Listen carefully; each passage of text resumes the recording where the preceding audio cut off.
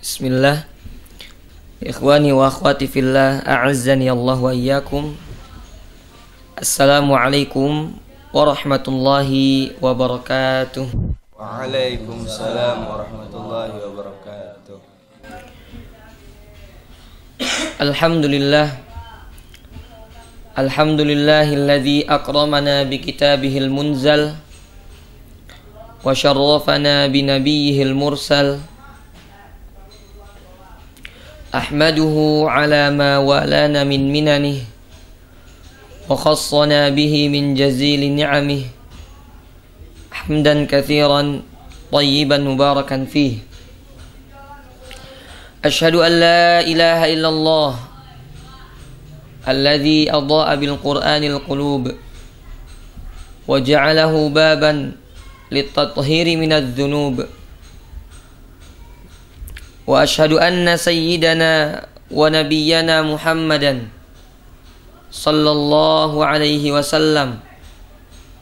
سيد من قرأ القرآن وأقرأه فهو نبي الرحمة مبلغ الحكمة شفيع الأمة صلى الله عليه وعلى آله وصحابته ومن تبعهم بإحسان إلى يوم لقائه. أما بعد فإن أصدق الحديث كتاب الله جل وعلا وخير الهدي هدي محمد صلى الله عليه وسلم وشر الأمور محدثاتها وكل محدثة في الدين بدعة وكل بدعة ضلالة. وكل ضلالة في النار. سبحانك رب لا علم لنا إلا ما علمتنا إنك أنت العليم الحكيم. اللهم علمنا ما ينفعنا وانفعنا بما علمتنا وزدنا علما تنفعنا به يا رب العالمين. اللهم لا سهل إلا ما جعلته سهلا وأنت تجعل الحزن إذا شئت سهلا. اللهم علمنا الصواب في القول والعمل وأطلق ألسنتنا بكتابك على نحو الذي يرضيك. فيا ربي اللهم اجعل جمعنا هذا جمعا مرحوما. وتفرقنا من بعده تفرقا مباركا ميمونا معصوما ولا تجعل فينا ولا معنا ولا منا شقيا ولا محروما من رحمتك يا ارحم الراحمين Alhamdulillah Segala puji hanya milik Allah subhanahu wa ta'ala Dengan karunianya dan anugerahnya Kita bisa kembali berkumpul Pada hari yang mulia di mana kita masuk pada 10 awal di bulan Dhul Hijjah di mana Allah Subhanahu wa taala mengangkat hari ini dikarenakan terkumpulnya amal ibadah yang banyak pada 10 awal dari Dzulhijjah. Makanya Allah Subhanahu wa taala atau oleh karenanya Allah Subhanahu wa taala menyebutkan dalam Al-Qur'an Karim ya, wal fajr dan demi waktu fajar waktu di mana banyak manusia lalai akan waktu tersebut. Ketika Allah Subhanahu wa taala memerintahkan manusia untuk sholat padanya, beribadah kepadanya pada waktu tersebut yaitu waktu fajar. Di mana dikatakan dalam hadis berkumpul pada waktu tersebut malaikatun bil laili wa malaikatun bin nahar.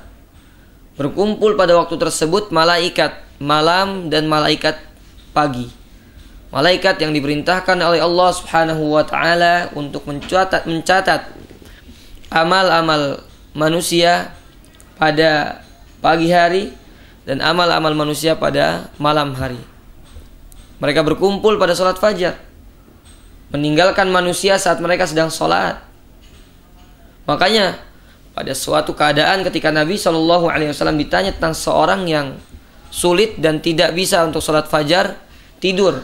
Su'ilan Nabi Shallallahu anir rajul nama an sholatil fajri tidur dari sholat fajar tidak bisa sholat fajar maka kata Nabi Shallallahu Alaihi Wasallam balas syaitan ala udhunaih itulah tanda seseorang yang di mana setan telah ya mengencing eh, kencing di telinganya sehingga tidak bisa mendengar azan panggilan Allah Subhanahu wa taala apalagi datang untuk menunaikan salat subuh berjamaah.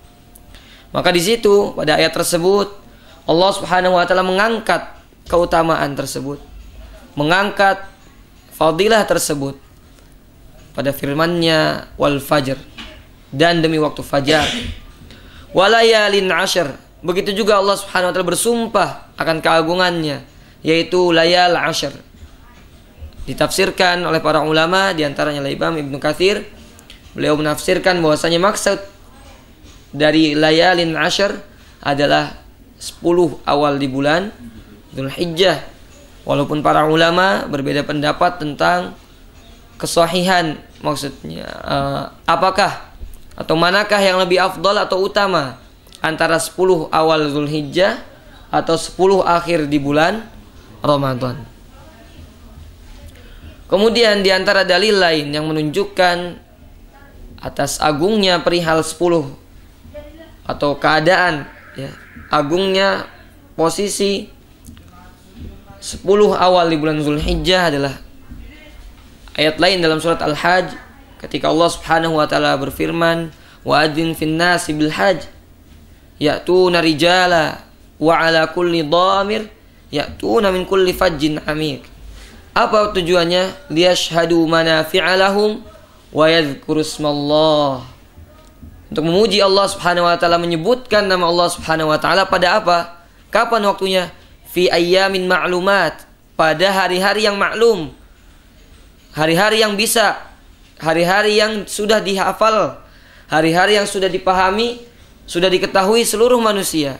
Yang dimaksud adalah apa? 10 dari Dzulhijjah atau tepatnya adalah hari di sana pada saat itu atau pada hari tersebut diwajibkan kita melakukan ibadatul haji, ibadah haji.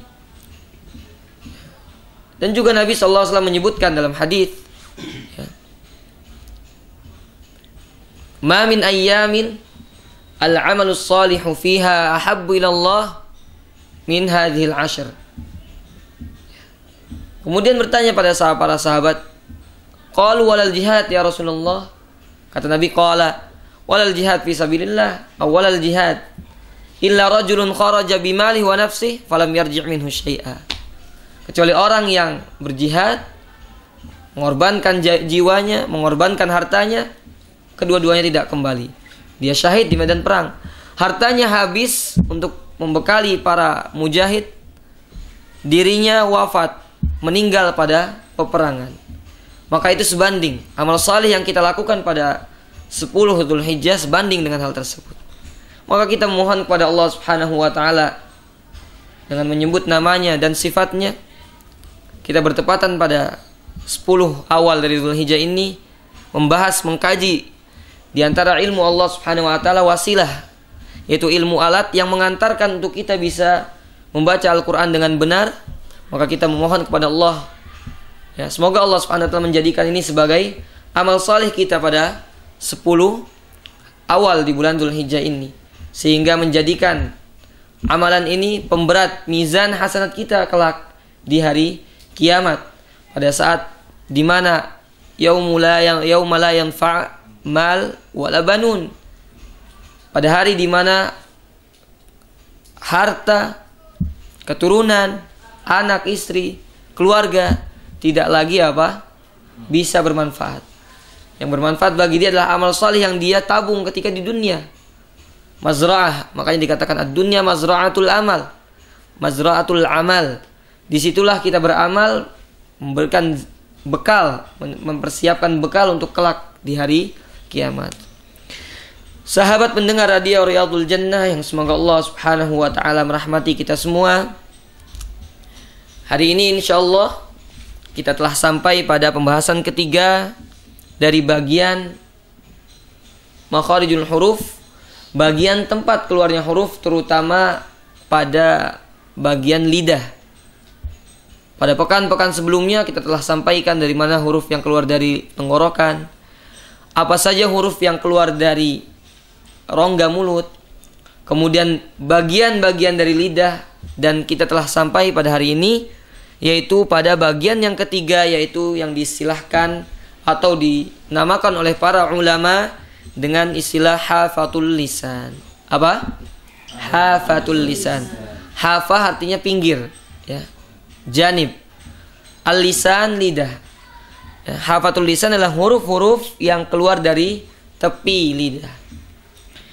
Kita bacakan perkataan penulis hafizahullah taala semoga Allah Subhanahu wa taala senantiasa merahmati kita semua. Halaman 130 bisa disimak teman-teman yang ada di rumah ikut yang memiliki buku panduan bisa melihat pada halaman 130 yang bagian C adalah hafatul lisan. Kata penulis hafizahullah Hafatul lisan adalah bagian lidah yang berada di sisinya atau yang diistilahkan dengan tepi lidah. Diistilahkan dengan apa? Tepi lidah. Ya, tepi lidah. Kalau kita gambarkan lidah kita, misalkan ini tangan ini adalah lidah kita, maka bagian tepi sininya. Ini sebut tepinya. Ya.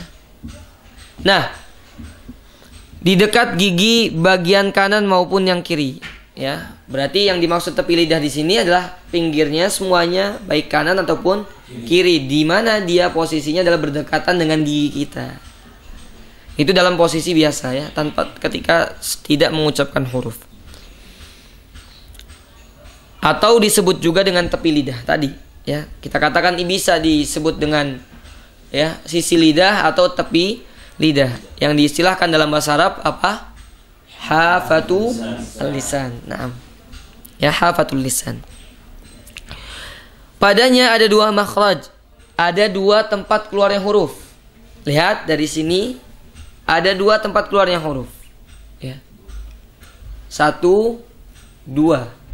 Satu dua. Ya. Di mana sering sekali Ustadz tekankan bahwasanya lidah tidak mungkin dengan sendirinya mampu mengeluarkan huruf. Karena huruf yang ada pada lidah rata-rata semuanya terjadinya bisanya terjadinya pengucapan huruf itu dikarenakan tabrakan.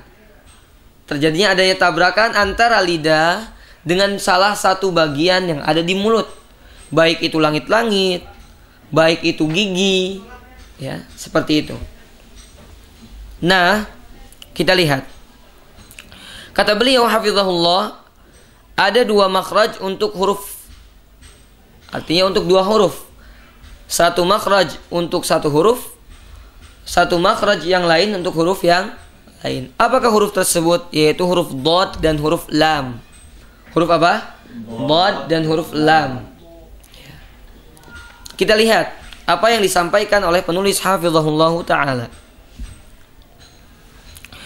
Kata penulis, makhraj yang pertama untuk huruf dad. Ya, makhraj yang pertama adalah makhraj tempat keluarnya huruf dad. Yakhruju min ihda hafatayil lisan atau minhuma ma'an ma' ma yuhadhihi atau ma yuhadhiha min as-safhati ad-dakhiliyah. Safhah ad-dakhiliyah lil adrasil ulya di mana keluarnya dari salah satu tepi lidah. Salah satu tepi lidah. Baik kalian menggunakan yang sebelah sini, sebelah kiri, atau kalian menggunakan yang sebelah kanan.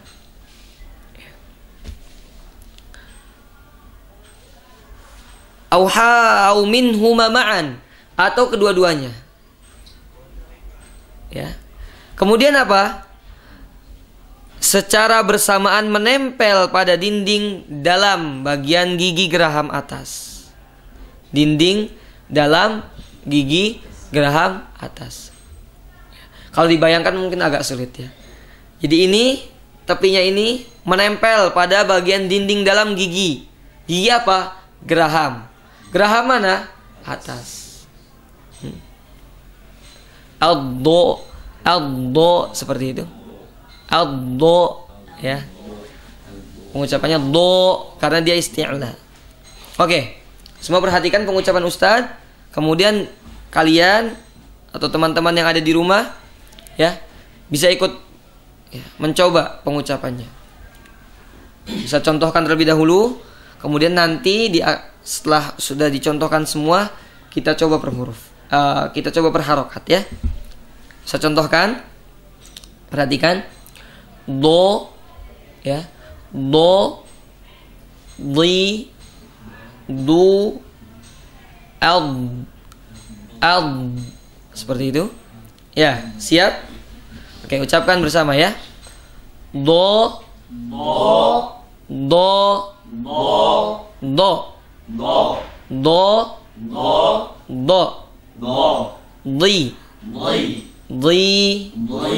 Di. Di. Di ya du du. Du. Du. Al nah seperti itu. Itulah huruf dod ya tebal. Dan para ulama memberikan lakob bagi huruf dod adalah syajariyah. Sama seperti Ya, sebelumnya huruf shin, ya dan jim diistilahkan atau diberikan lakop dengan huruf syajariyah. Syajariyah. Dari kata syajarah. Artinya ujungnya, ya, puncaknya.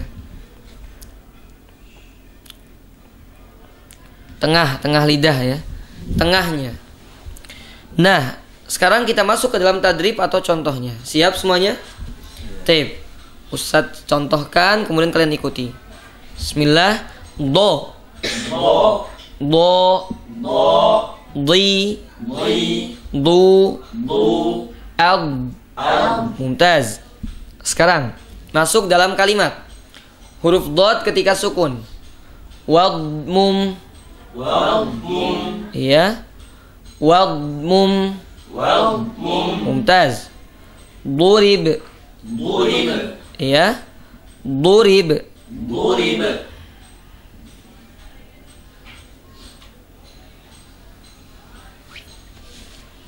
Kemudian dhi'afa dhi'afa dhi'afa. Dhi'afa. Naam. Kemudian darab darab Iya. Do do di di du du ad Ya. Lihat, ketika kita mengucapkan huruf dod, mengucapkan sebuah huruf, maka vokalnya pun harus ikut, nggak boleh hilang. Ya, ketika kita mengucapkan do, a-nya do jelas a-nya. Kemudian di nggak boleh de, harus di i, di bukan de tapi di. Kemudian ketika u, du, ketika kak sukun ab. Seperti itu, paham? Oke. Okay. Nah nanti kalian bisa ketika nanti di rumah atau ketika kalian sudah pulang dari kajian bisa kalian cari dalam Al-Quran beberapa jumlah yang terdapat dalamnya beberapa kalimat atau kata ya kalimat dalam bahasa Arab kata dalam bahasa Indonesia. Beberapa kalimat atau kata nanti kalian ambil yang ada huruf dotnya kalian tuliskan di kertas. Kemudian kalian latihan di sana. Ya ini tips dari saya untuk teman-teman ya sekalian para pendengar kajian ini baik yang ada di studio ataupun yang ada di rumah yang mendengarkan melalui rekaman atau melalui radio Riyadul Jannah bisa diambil nanti ya diambil. Dalam Al-Qur'an banyak kata-kata yang terdapat huruf dot dituliskan baik dot ketika fathah huruf dot ketika kasrah ketika dhammah atau ketika sukun kemudian latih. Latih latih latih seperti itu. Tapi kita contohkan sekali lagi. Do do di di du du ad ad naam. Wadmum. واضمم ضرب ضرب ضعافا ضعافا ضرب ضرب Naam. Kemudian huruf yang kedua yang akan kita sebutkan pada pagi hari ini sebelum nanti akan praktik atau ya, langsung tatbik dalam Al-Qur'an, praktek ya. Makhraj yang kedua adalah tempat keluarnya huruf lam. Yakhruju min adna hafatayil lisan ila muntaha taraf ma'a ma yuhadhiha min lithatil asnan al-ulya ad-dhahikaini an-nabaini ar-ruba'iyataini was-saniyatain. Keluarnya dari ujung dua tepi lidah. Kalau tadi dari tepi lidah cuma di bagian belakang. Jadi lidah dibagi dua. Dari sini ujungnya adna sampai roasnya.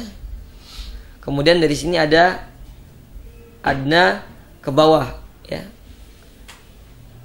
Dan dari sini ke sini tempat keluarnya huruf dad. Di mana ujungnya yulamis Ketika kita mengucapkan huruf dad, maka nanti dalam pembahasan sifat, ketika kita mengucapkan huruf dad, maka ujung ini akan yulamis, akan menyentuh gusi bagian depan.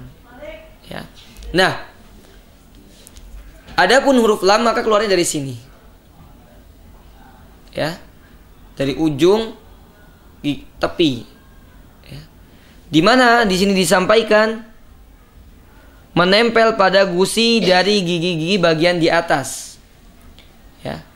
Menempelnya ini pada gusi pada bagian gigi-gigi yang akan disebutkan.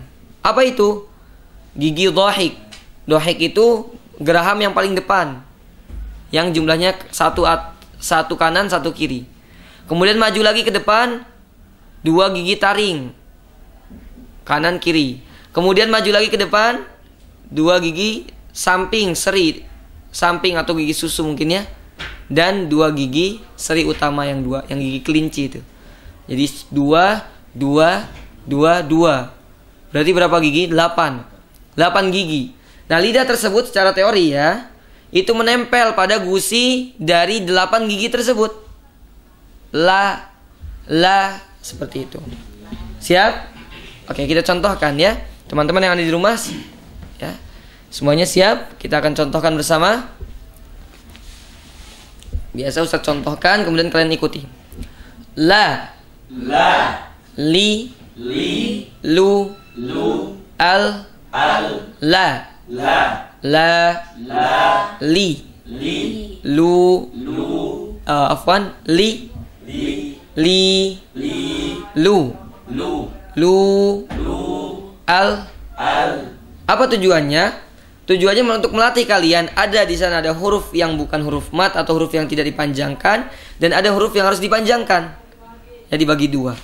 Tayyib, kita masuk ke dalam contoh kalimat. La. La. La. La. Li. Li. Lu. Lu. Al. Al qul inni. Qul inni. Qul inni. Qul inni. Lubada. Lubada. Mumtaz. Lubada. Lubada. Yazlimun. Yadhlimun mumtaz. Yazlimun. Yadhlimun wa rasulah wa rasulah wa rasulah wa rasulah Naam, masya Allah, mumtaz. Taib sekarang ya, kita akan coba ambil contoh dalam Al-Quran. Ya, kita ambil dari surat belakang. Ya, kalian bisa lihat. Nanti kita akan ambil sebagian dari kalian. Ya, se- sebelum semuanya membaca, kemudian kita langsung angkat penelpon barangkali ada yang ikut ingin bergabung. Kita coba dulu dari kalian ya. Coba kalian lihat di sini kebetulan kita ada surat Al-Maun ya. Ada huruf dhad di sana. Ya. Ya, Al-Maun huruf dhad, kemudian Al-Zalzalah ada huruf dhad juga. Ya. Syams ada huruf dhad juga. Adiyat ya banyak ya. Oke, sekarang Ustaz minta salah satu dari kalian siapa yang pertama kali mencontohkan? Nanti yang lain mencari, mencari ke ayat-ayat yang ada huruf dhad. Dan sahabat yang di rumah juga boleh nanti ikut bergabung. Misalkan mengumpulkan kalimat-kalimat atau kata-kata yang ada huruf dotnya kemudian membacakannya. Tape mana? Tape kasihkan mic-nya ke mana? Berikan ke mana? Hah? Ad-duha. Tape ad-duha. Naam. Surat ad-duha itu banyak ya.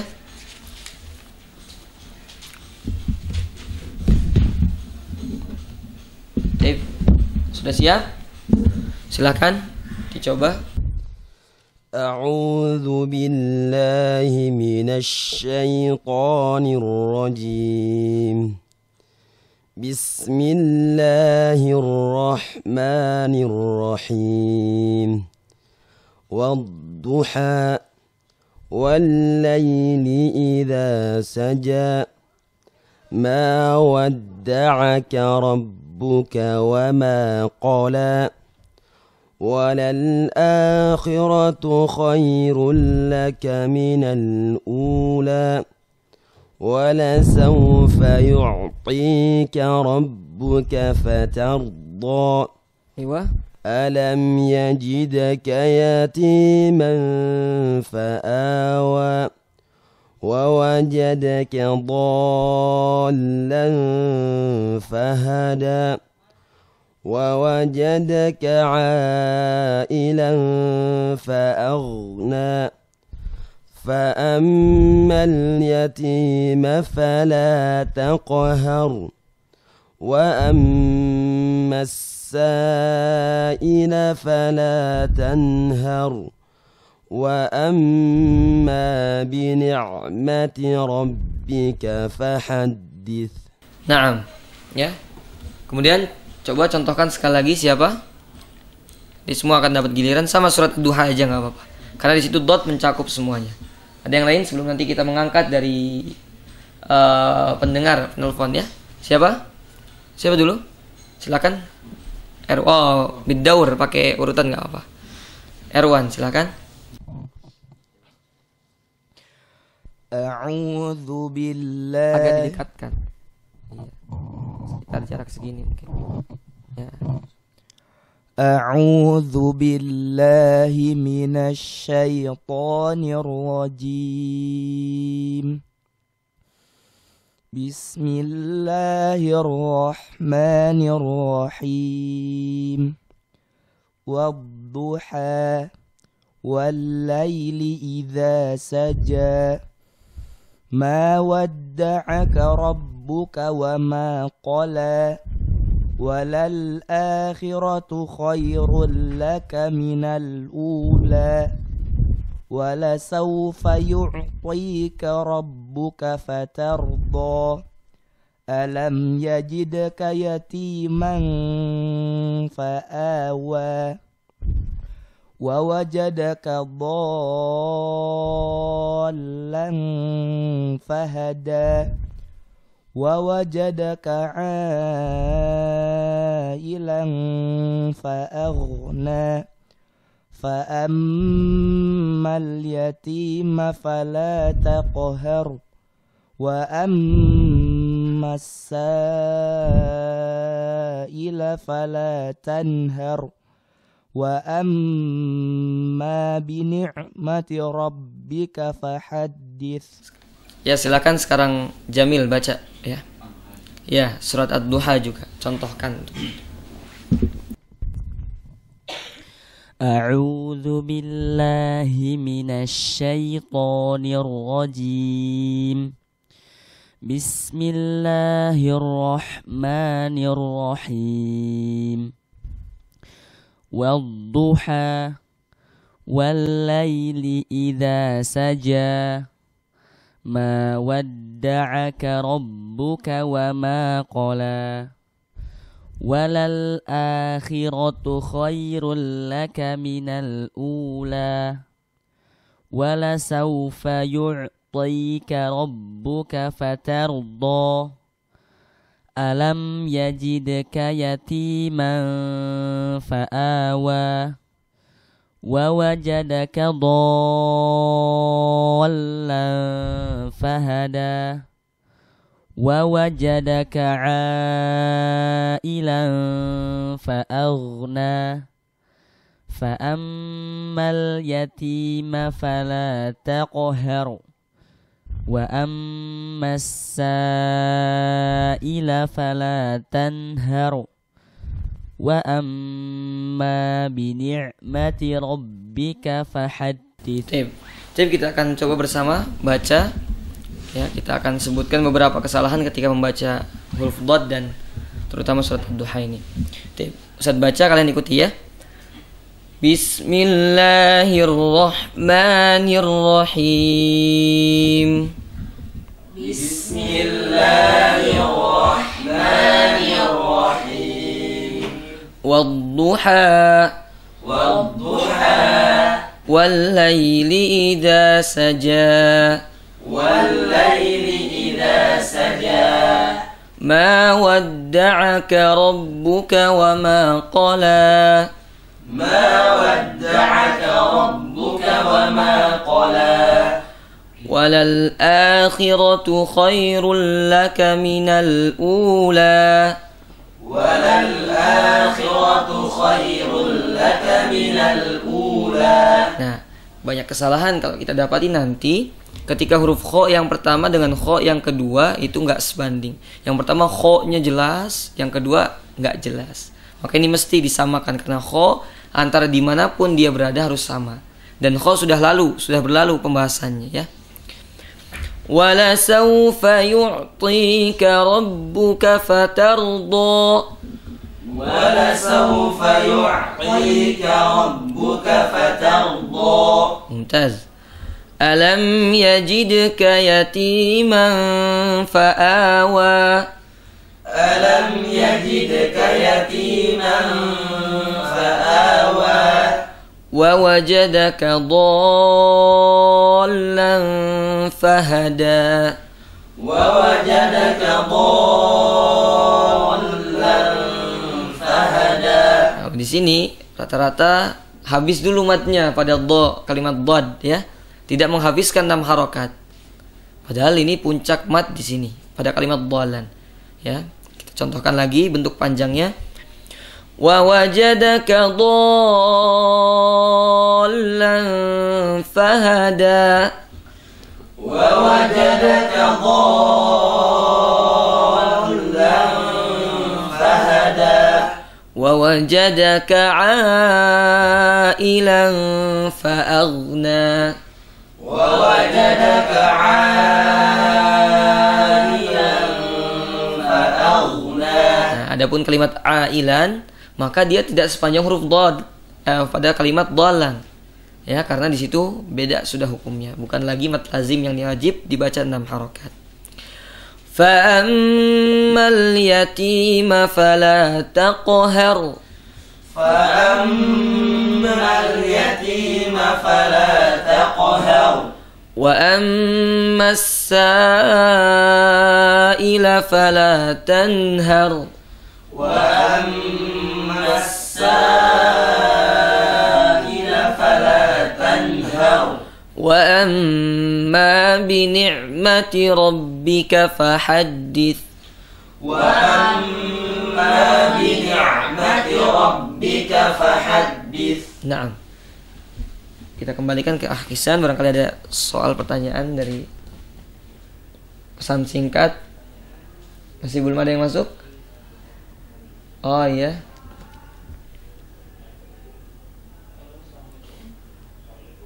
Waalaikumsalam warahmatullah.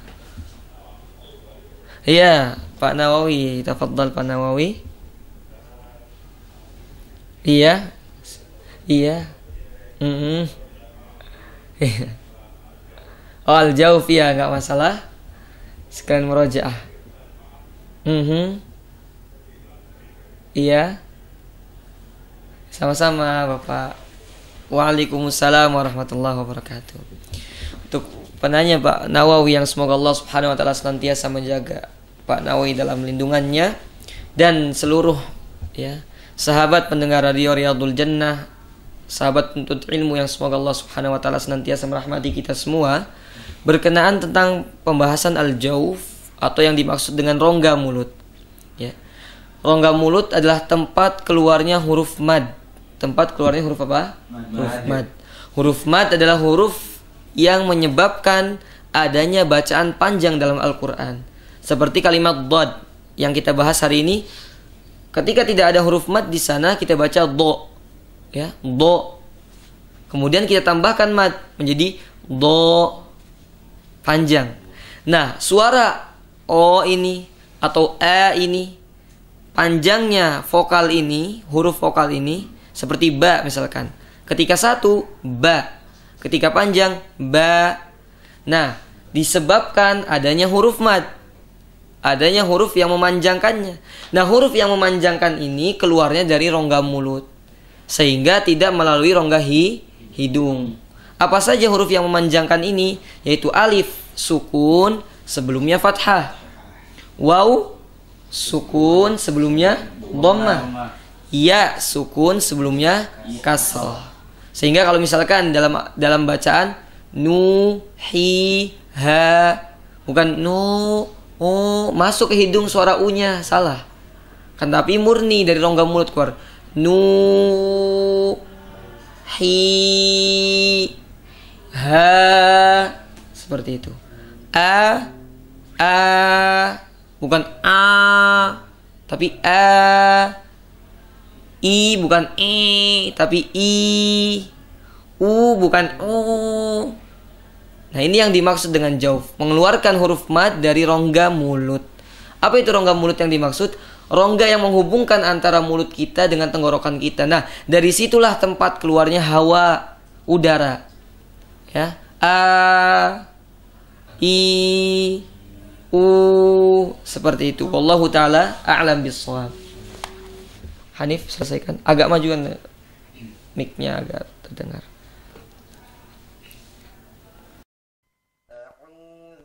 La Billahi minasyaitonir rajim. Tayyib. Bismillahirrahmanirrahim.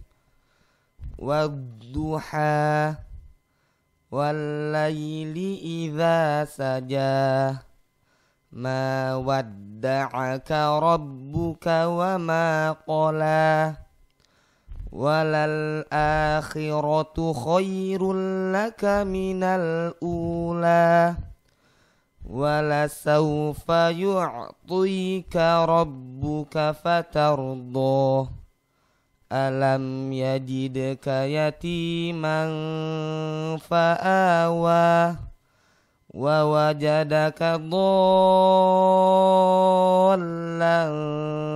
fahada Wa wajadaka ailan fa'aghna Fa'ammal yatima fala taqhar Wa ammas sa'ila fala tanhar Wa amma bi ni'mati rabbika fahaddith Hmm. Selanjutnya berikan ke yang baca terakhir. أعوذ بالله من الشيطان الرجيم Bismillahirrahmanirrahim Wadduha Wallayli idha saja. Ma wadda'aka rabbuka wa ma qala. Walal akhiratu khairul laka minal ula. Walasaufa yu'la يعطيك ربك فترضى ألم يجدك يتيما فآوى ووجدك ضالا فهدى ووجدك عائلا فأغنى فأما ammal yatima fala taqhar wa ammasa ila fala tanhar wa amma bi ni'mati rabbika fahaddith Naam. Masya Allah Barakumullah. Barak Allah fikum. Alhamdulillah. Dengan nikmat Allah subhanahu wa ta'ala kita telah menyelesaikan kajian pada pagi hari ini. Saya berharap teman-teman sekalian, ya, para pendengar setia terus mengulang-ulang materi yang telah kita sampaikan dan tidak ada bosannya untuk berlatih ya. Setelah mendengarkan kajian pada pagi hari ini, masing-masing ya, mempraktikkan nanti di rumah dan tidak lupa menjadikan sebagian waktu kita misalkan 15 menit atau 10 menit 20 menit untuk praktek membaca ya baca dengan tartil lambat. Seperti halnya tadi teman-teman yang ada di studio mempraktikannya. Membaca lambat mempraktikkan tiap hurufnya kemudian setiap minggunya ikut bergabung baik ikut bergabung untuk murojaah atau menambah ya pelajaran yang baru. Tapi sekian dari saya. Kurang lebihnya mohon maaf. Alhamdulillahi ta'ala. Subhanakallahumma Rabbana wa bihamdika Ashhadu an la ilaha illa anta Astaghfiruka wa atubu ilaik. Wassalamualaikum warahmatullahi wabarakatuh Waalaikumsalam warahmatullahi wabarakatuh